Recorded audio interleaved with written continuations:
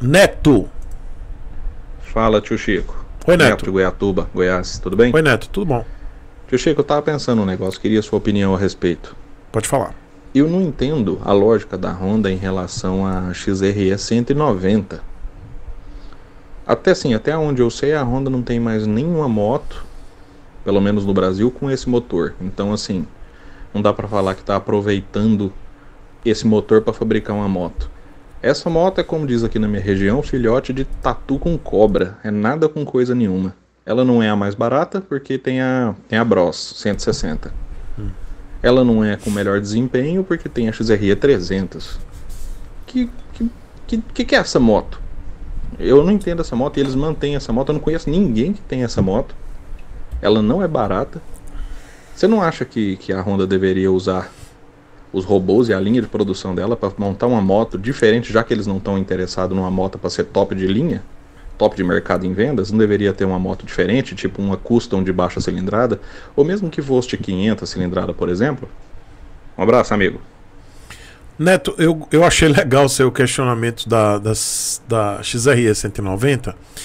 E eu quero, depois de muito tempo criticando a, eu critiquei muito tempo não, mas eu critiquei a XRE 190 principalmente pelo preço.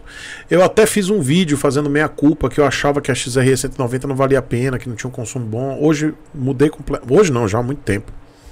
E aí é, tem um vídeo aqui justificando é, que inscritos fizeram para cá, teve um inscrito que fez o vídeo, eu me retratei e ele mostrou todas as qualidades dessa moto. E tem, tá? XRE 190 é uma moto excelente.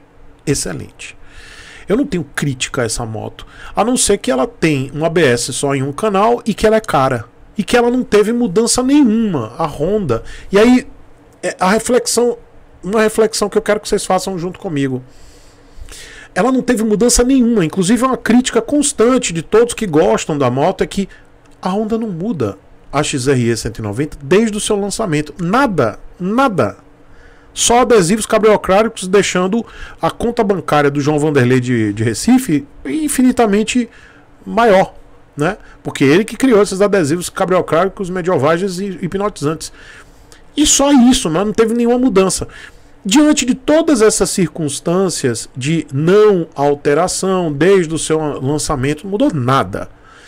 Até hoje, e vendo que ela sempre teve um preço intermediário é, entre uma Lander, uma XRE e ela em muitas situações do mercado ela tinha um preço um preço muito próximo, desculpa, é, entre uma Bros, uma Brosta, né? Eu falei Lander e XRE não. Ela tem um preço intermediário entre uma Brosta 160 e uma XRE e em muitas situações a, a XRE 190 tem um preço próximo à Lander que eu acho um absurdo né? Porque ela não deveria nem estar tá próximo um preço à Lander, porque a Lander é superior à XRE 190. Eu eu quero fazer essa análise agora, finalmente, para poder explicar e, e, e, deixar clara a minha tese. É que eu quero que vocês com, comentem, pensem junto comigo se vocês concordam ou discordam dessa minha tese. A XRE 190 é uma moto de teste. A Honda lançou a XRE 190 como uma moto de teste para saber se ela tinha boa aceitação no mercado nacional. Como é que ela funcionaria aqui no mercado? E aí, isso aqui é, é especulação total. Isso que eu estou fazendo, tá? Total. Eu não tenho contato com a Honda, não falo com ninguém da Honda. Tudo isso aqui é especulação. E aí, a minha isenção também. Estou especulando. E eu falo aqui tranquilamente eu acho que esses caras da, da Honda, eles. E eu não estou criticando, não. Acho que eles lançaram. A XRE 190 é uma moto perdida no espaço. Como você mesmo falou, Neto. Ela não tem. Ela não tem propósito. Não existem outras motos que usam o mesmo motor. Por isso que eu acho que essa, essa moto é uma moto de teste. Eles lançaram para ver como é a aceitação dessa moto no mercado, tanto em relação a preço quanto em relação a performance dela no mercado, mas principalmente se vai, se o brasileiro aguenta o tranco do preço dela. E eu explico por que já já. E aí, Neto, você teve uma reflexão que por muito tempo eu queria lançar aqui. Você me dá essa oportunidade. Obrigado, Neto. Um beijo. Obrigado pela oportunidade da gente poder fazer essa reflexão. Eu acho a XRE 190 uma moto de teste, assim como você falou, ela não tem nenhuma moto par nenhuma. A Honda não lançou uma Naked, não lançou uma esportiva, que inclusive tem uma, uma Street, né, meio esportivada, com motor 190. Tem uma, uma tem lá fora, né, países vizinhos, inclusive, tem motor 190 de motos mais esportivadas, esportivadas, tá? Existem versões, é um motor. E aí, para deixar claro, motor confiável, motor econômico, motor extremamente confiável. É o motor Honda. Esse é o motor que a gente pode falar, pô, é Honda, velho. Honda mesmo, qualidade Honda, aquela qualidade que a gente sempre espera que a Honda tenha nos seus motores. Esse motor 190 é um motor que eu digo, é um motor que eu, eu, bato palma, eu aprovo, eu gosto, eu acho que é um motor extremamente durável, confiável, é um motor econômico, tem eficiência energética, tem eficiência de performance, é um motor que tinha que estar aqui no nosso mercado há muito tempo. E não tem moto par nenhuma aqui no Brasil. E aí a gente volta. Por que, que essa moto, a XRE 190, ela, ela é uma moto de teste? Porque aí vem a especulação grande eu acho que a Honda ela vai abandonar o motor 160 na mudança do Promote 4 para o Promote 5 e adotar o motor 190 na CG. É provável? É provável. É viável? Economicamente, talvez não. Talvez isso nem ocorra. Por quê? A Honda ela vai ter que aumentar muito o preço de uma CG para colocar um motor 190. Porque se ela sai de um 160, que é vagabundo, motor de plástico, saiu de um excelente motor 150, que dura pra caramba, para um motor em 2015 160, que é de plástico e tem durabilidade baixa, proposital. É proposital mesmo, eles quiseram fazer um motor ruim.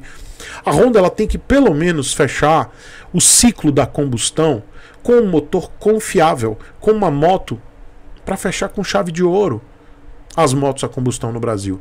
Então eu acho que é um motor que eles não colocaram nenhuma moto par. Nada. Não tem uma Street, como você falou, não tem uma Custom, eles não querem nem fazer isso. Nunca trouxeram uma Rebel. Eles não querem fazer isso, tá? Mas daria para fazer custom, daria para fazer moto clássica, moderna, daria para fazer muitas variáveis com o motor 190. Não quiseram. Então eu acho que eles botaram a XRE 190 para testar, para ver se há aceitação do público, se a moto ela se dá bem no mercado, porque ela é uma moto limbo, é uma moto que ela é desconecta, desconexa, é desconectada da realidade. Ela é cara demais para uma brosta e ela é cara, e ela é, ela é quase o preço de uma, uma Lander. Ela fica no meio termo e a XRE é muito cara e é uma boa moto. Gente, ela faz 40 km por litro dependendo do, do condutor dependendo da ocasião, da situação do condutor. Mas ela chega a 40 km por litro. É uma moto que não dá pau. Aí tem um monte de trouxa, é, rondeiro trouxa, que fica, ah, porque a moto é igual, é igual o motor da CG 160. Não é. O motor 160 é ruim, ele é feito para quebrar. O motor 190 não, tá?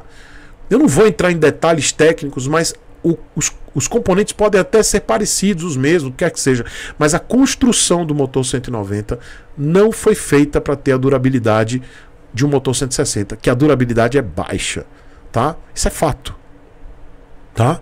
E, e daí vem a minha tese que a Honda ela colocou a XRE 190 para testar, para ver. Porque na a Honda, obviamente que a Honda Brasil ela tá vários anos à frente, porque ela tem que se planejar para as mudanças das exigências de emissões de poluentes, as leis de emissões de poluentes. Em breve teremos o grande switch aí do Promote 4 para o Promote 5 e serão novas exigências de emissões de poluentes. E aí sim a gente vai saber se eles vão manter esse motor porcaria 160 ou se eles vão abandonar esse lixo e abraçar o motor 190, deixando a CG 190 desculpa, a CG 160 motor de plástico de lado e abraçando a CG 190. E aí a gente vai ter CG 190, Brosta 190 ou a XRE 190. A Brosta vai para o espaço, se mantém a CG 190, desculpa, a XRE 190 e podemos até imaginar outras variáveis, que eu acho que a Honda Brasil não fará isso, tá? Eu acho que a Honda Brasil ela não tem essa, essa vibe porque o brasileiro é lascado. O brasileiro ele não tá com esse poder todo. E aí é, o pensamento da Honda é assim: é mais dinheiro para gastar numa linha de montagem de uma moto clássica moderna é, com motor 190 ou uma custom motor 190. Eu acho que eles não querem, eles não querem variar tanto assim, porque nós estamos numa situação econômica muito ruim. Então, para Honda, menos é mais. Menos linhas de montagem, menos pessoas empregadas, são é, é menos custo para eles, é menos tudo. Menos é mais. Então você vai ter uma linha de montagem da CG 190, uma linha de montagem da XRE 190 e deu. Né? CG 190 suas variáveis, né? Fan, Titan, lá, lá, lá, lá, lá, lá, XRE 190 ou Brosta 190, não importa, porque aí não vai ser mais Brosta, eu vou chamar de Bros. Mentira, vou continuar chamando de Brosta. E eu acho que é isso. Eu torço por isso. Eu gostaria muito que a, a, Honda abandonasse de uma vez por todas esse motor 160 e abraçasse o motor 190. Então, Neto, uma boa reflexão sua. E eu quero saber de vocês também. Porque a, o meu pensamento é que realmente a XRE 190 ela é uma moto limbo. Ela está aqui para ser testada, para ver se o brasileiro. E, e outra coisa, é para ver se o brasileiro paga. Porque se entrar uma CG 190, vai ficar mais caro. Não tem almoço grátis. E aí, será que o brasileiro paga para ter um motor 190 com mais cavalaria, né, mais potência, mais torque, economia, durável, Honda? Será? Paga. Já está 20 mil. Uma CG de plástico, prático. Já está 20 mil. Botar mais um pouquinho. O brasileiro gosta sempre. Atochar mais um pouquinho no brasileiro sempre dá. E essa aqui é uma singela homenagem e agradecimento a todos os apoiadores e membros deste que é o pior canal do YouTube. Pessoal, muito obrigado. O nome de todo mundo está aparecendo aqui agora e vai aparecer no final de todos os vídeos desse canal aqui.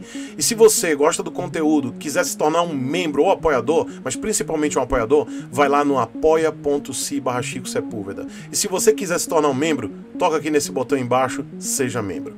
Muito obrigado.